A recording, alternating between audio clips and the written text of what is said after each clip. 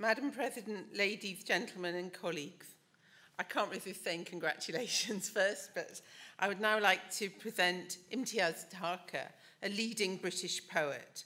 Her books of poetry, which are all self-illustrated, include Purdah, Postcards from God, I Speak for the Devil, The Terrorist at My Table, Leaving Fingerprints, and Over the Moon.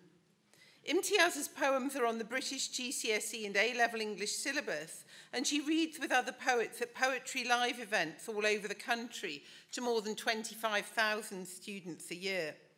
I've been lucky enough to attend one of these events thinking I was going to lend support in some empty hall, but instead finding myself at something of a rock star event for 2,000 school pupils. Of course, I basked in reflected glory once I'd name-dropped and impressed upon the students that I was friends with the stars. Poetry Live was founded by the late Simon Powell and was a joy to me. As somebody who enjoyed even double poetry at school, perhaps I was the only one, It was wonderful to see how presenting poetry, well, live, was the way to kindle enthusiasm. Anyone who has been lucky enough to study other languages and cultures, whether the European classics or the languages and cultures of Asia and Africa that we offer here at SOAS, will be familiar with the importance of poetry. We also know that in these cultures, poetry isn't just something on the page of a textbook, but is recited so we can experience the pleasure of its language, its sounds, and its rhythms. Poetry recitals, mushairas or kavi sammelans in South Asia today attract substantial audiences and keep poetry at the forefront of the literary imagination. Many of us still believe that the preeminent form of literature is poetry, and we are all, I believe, born with a love of poetry but too many of us have it knocked out of us at school. Or should I say we used to. Putting poets like Imtiaz on the syllabus and bringing students to Poetry Live restore it to its rightful place. I'd like to read one of Imtiaz's poems. That's slightly uncomfortable, but never mind. The Trick, written this year in response to Shakespeare's Sonnet 43 and published in the anthology on Shakespeare's sonnets published by Bloomsbury. It's the trick. In a wasted time, it's only when I sleep that all my senses come awake. In the wake of you, let day not break. Let me keep the scent, the weight, the bright of you. Take the countless hours and count them all night through, till that time comes when you come to the door of dreams, carrying oranges that cast a glow up into your face. Greedy for more than the gift of seeing you, I lean in to taste the colour, kiss it off your offered mouth. For this, for this, I fall asleep in haste, willing to fall for the trick that tells the truth, that even your shade makes darkest absence bright, that shadows live wherever there is light.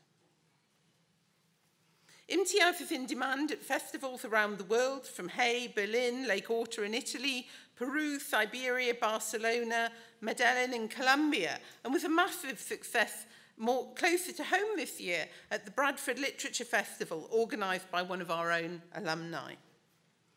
Imtiaz has been honoured for her work as a poet. She has been poet in residence at Cambridge University Library for Thresholds and has recently completed a series of poems based on the archives of St Paul's Cathedral. Imtiaz was awarded the Queen's Gold Medal for Poetry in 2014, is a recipient of the Cholmondeley Award.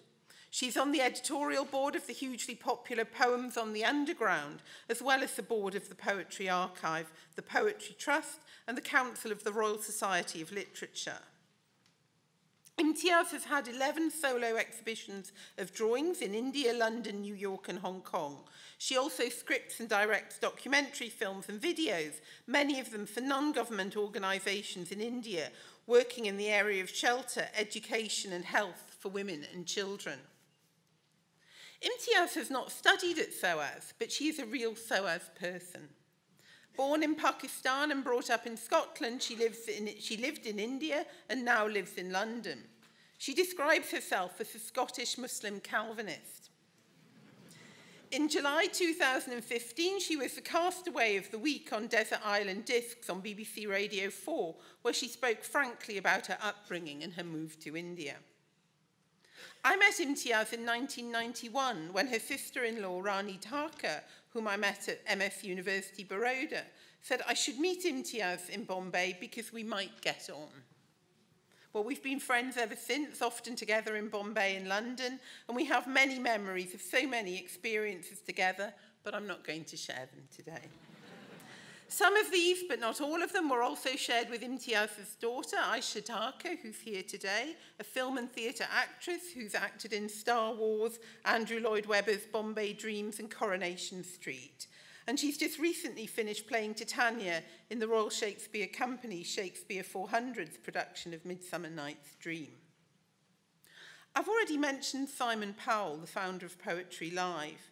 And although we've had nearly seven years without him, he still lives on in our hearts. Imtiaz and Simon lived poetry in their brief time together, and I was honoured to play the role of best man at their wedding. Yes, I said best man. Um, poor Simon, you took all my arrangements from the white mare I made you ride through Bombay to the turbans in the best of spirits, and we very much wish you were here with us today. Imtiaz is the ideal person to welcome to the SOAS community where she will inspire our students and others, reminding us never to lose the poetry in our lives, which are about so much more than just money and successful careers. Imtiaz's poems take up themes of belonging, home and travel, cultural and gender conflict, but also of happiness and love. She reminds us that we must all dare to dream. Your inner and outer beauty always inspire me, dear Imtiaz. And it's my privilege now, Madam President, to present to you Imtiaz Tarka for the award of D-Lit, and I invite her to address this assembly.